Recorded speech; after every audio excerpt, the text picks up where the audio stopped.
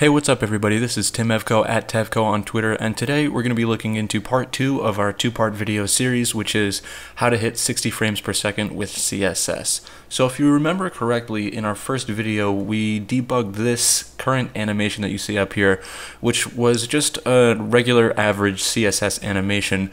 The problem, of course, was that it wasn't performing well and it wasn't hitting 60 frames per second. As we found out in the first video, that was caused by a bunch of CSS properties that did not animate cheaply, which we found out because of the website csstriggers.com. So, I'm going to just click play on this animation so you can see it one more time. And we're going to click this, and as you see, it stutters a lot on our, our first click and even second. So this is the animation that we wanted to debug, right? And as you can see, the issue with it is that it's stuttery, it's not hitting 60 frames per second, and that was the problem. So I'm going to pull up the code, and we're going to take a look at the current uh, code that we have here, and that is that is this for the animation. So um, this line right here is commented out. I was using Sass when I coded it, so in Sass, uh, this double backslash is a is a comment. So pay no attention to that. But what we have here is the animation. Um, and we discovered again that these animating these properties was slowing down the animation and ensuring that it wouldn't perform uh, up to our 60 frames per second standard. So this was recoded, and I'm going to walk you through line by line what we did and why we did it, and how that helped with the animation and, and getting the frame rate back up to 60 frames.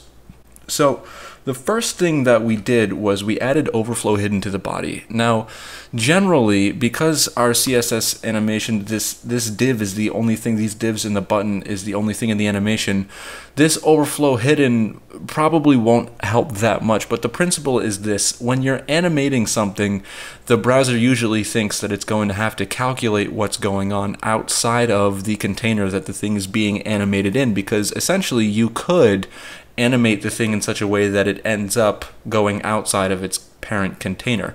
This overflow hidden property, again, not incredibly relevant in our current demo because it's just a div and a button inside of the body element, but if it were inside of another element and there were more elements around it, adding overflow hidden to the direct container of the element that's being animated on will let the browser know you don't have to do any calculations outside of this element during the animation. So then the browser says, all right, I'm not going to do those calculations, and hopefully that'll translate to the frame rate increasing because the browser doesn't have to worry about anything other than the animation at this point, right?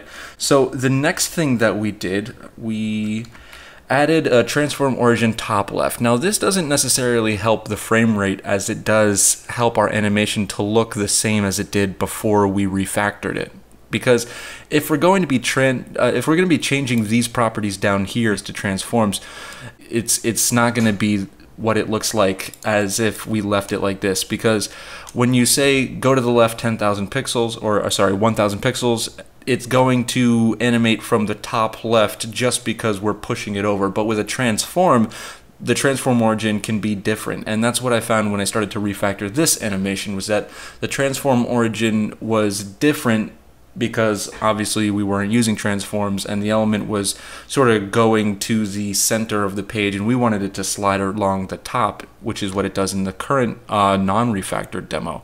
So this transform origin top left just makes sure that the new animation looks the same so another thing that we did was we got rid of this transition. Again, not necessarily to help our frame rate, but because we just didn't need it. We weren't really using the transition property. And then we added a margin left of 10 pixels. This was to get rid of this left property over here. You'll see we'll remove that next.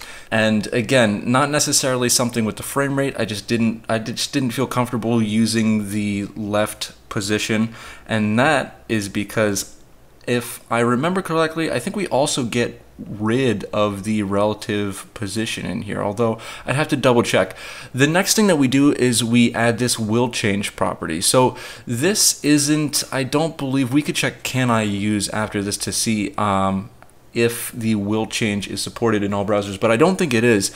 You can do will change or you can add an empty transform translate z value, which essentially says, and this is very important, push the rendering of this animation from the CPU over to the GPU. And what that does is it allows the browser to do all the calculations on the GPU processor, which gets gets gets rid of a bunch of load and memory intensive calculations that are happening on the CPU. When your animation happens entirely on the CPU, especially if it's a very complicated animation, you can you can again that can cause your frame rate to drop because the browser says we have too much work to do to fit it in 60 frames per second, so we need to drop that frame rate. And so this will change property lets the browser know, all right, at, at some point in time, we're going to be doing a an animation and you should get ready for that by pushing all calculations for this animation to the GPU and then the browser knows ahead of time. So this is a very important property when you are doing animations, but there are some caveats to it. It can sometimes change things like z index and have unexpected side effects on other CSS properties. So definitely be aware of that if you do use will change or transform translate Z. So the next thing that we did in our animation was we got rid of the from property because we're just we're just taking this div and we're telling the browser I want you to end up at a certain position. So we can get rid of this from portion of the keyframes. Again, that's not something that helps with um, increasing the frame rate, but it does help with just refactoring your code in general. We then got rid of the left width and height properties and we replaced them with a transform just one line transform. It looks really nice. That our, our keyframes animation is so much smaller. And what we're doing is we're moving the div over 990 pixels, which equates to 1000 pixels because we're animating from the top left property. So that will effectively make it look like the div moved over 1000 pixels, right? And then we're scaling it to 0.01, which will make the div end up looking like it's 5 pixels high and 5 pixels wide at the end of the animation.